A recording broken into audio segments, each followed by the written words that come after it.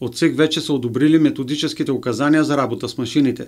В Русе са доставени две демоустройства, с които от районната избирателна комисия ще показват на гражданите по общините в областта как се гласува с машина. Създали сме организация, след като бъде обучена районната избирателна комисия от представител на фирмата, която работи с машините.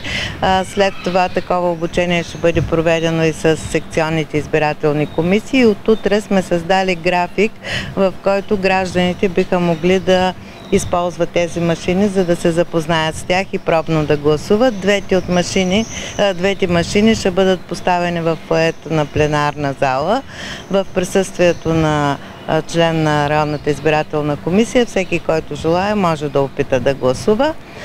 Едната машина по график ще обикаля общините в областта като във всяко едно населено място ще се постараеме да създадем възможност хората да отидат и да могат да гласуват. За сега само по общините, така че които искат от останалите населени места, където има машинно гласуване, ще трябва да се съобразят с тези часове. Според Милена Хинкова, по време на обиколките по общини, членовете на РИК ще гледат преди всичко да обясняват как се ползват машините, отколкото да се опитват да засекат за колко време се гласува. Долу-горе ще преценим по как как върви, но тъй като ще е пробно гласуването, вероятно обясненията ще са малко повече, така че реално трудно би, мож, би могло да се засече. Въпросът е нашите представители да обяснят на всички, за да преодолеят страха си от гласуването с машина. Междувременно стана ясно, че в Русенска област ще има пет подвижни секции.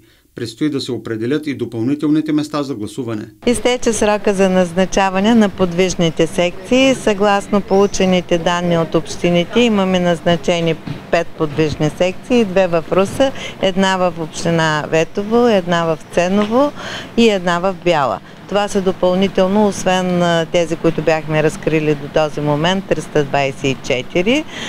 Предстои още секции да бъдат разкривани, така налечените допълнителни. Те са в старческите домове, лечебните заведения, плавателните съдови, ареста.